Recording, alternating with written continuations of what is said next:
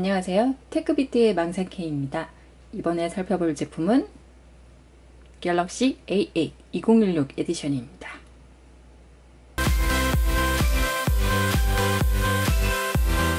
갤럭시 A8 2016 에디션은 SKT 전용 폰으로 출시된 제품입니다. 디스플레이는 5.7인치 full HD 디스플레이고요.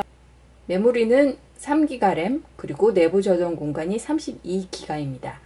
배터리는 3300, 카메라는 전면 800만, 후면 1600만 화소 카메라가 탑재되었습니다.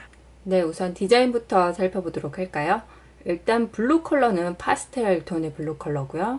뭐 이렇게 후면과 이렇게 측면이 full metal 디자인으로 되어 있습니다. 하단에 지문 인식이 가능한 홈 버튼이 있고요. 눌리는 느낌은 이렇습니다. 측면을 보면 스피커가 사이드에 위치하고 있습니다. 그리고 이게 전원 버튼이고요. 반대쪽 측면을 볼까요? 왼쪽 측면에는 볼륨 버튼과 유심 슬롯이 있습니다. 열어서 한번 확인해 보도록 할까요? 이렇게 유심과 SD 메모리를 추가로 장착할 수 있는 트레이가 들어 있습니다. 상단에는 마이크만 있고요. 하단에는 이어폰 그리고 USB 단자가 위치하고 있습니다.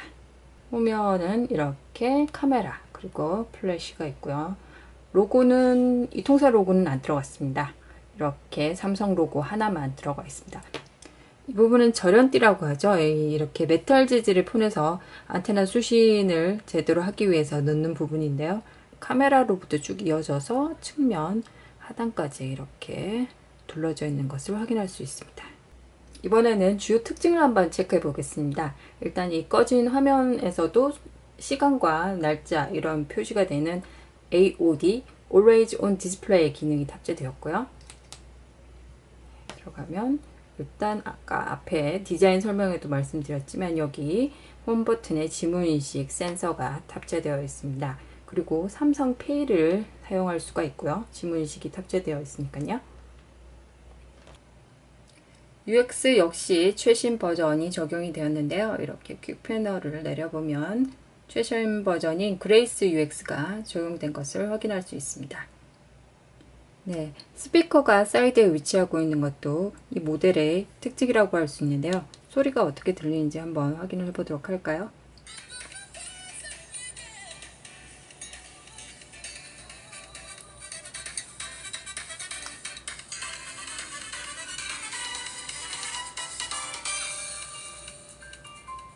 네, 이렇게 사이드 스피커가 있는 것의 장점이라면 아무래도 이렇게 바닥에 놨을 때 막히지 않으니까 소리가 잘 들리는 것이라고 할 수 있겠네요. 일단 첫인상은 뭐 디자인이 굉장히 깔끔하다는 느낌이 들고요.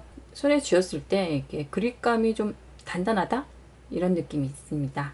중저가 스마트폰 중에서 high-end급에 해당한다고 할 수 있는데요. 뭐 삼성의 그 플래그십 모델에서 지원하는 몇 가지 기능, 뭐 지문 인식이라든지 AOD 그리고 뭐 삼성페이 이런 걸 쓸 수 있기 때문에 뭐 굳이 뭐 플래그십에 고사양이 필요치 않은 분들에게는 사용하기에 적당한 모델이 아닌가 싶습니다. 그리고 지문이 묻는 것에 스트레스를 받는 분들이라면 어, 이 제품의 이 깔끔한 후면이 마음에 들지 않을까 생각이 드네요. 지금까지 테크비트의 망상케이였습니다.